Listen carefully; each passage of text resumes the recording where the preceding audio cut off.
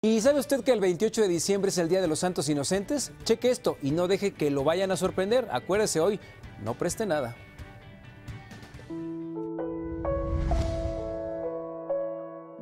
Inocente palomita que te dejaste engañar, sabiendo que en este día en nadie debes confiar.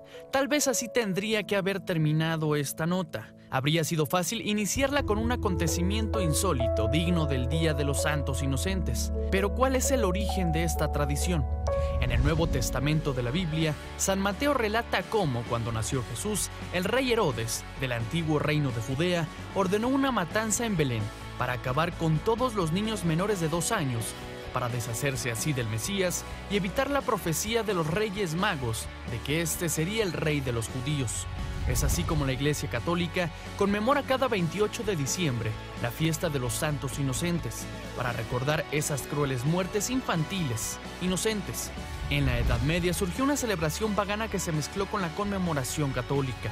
La fiesta de los locos, que tenía lugar entre Navidad y Año Nuevo, era un evento en el que todo estaba permitido. Había tal libertinaje y extravagancias que la iglesia decidió unir las celebraciones para controlar el paganismo.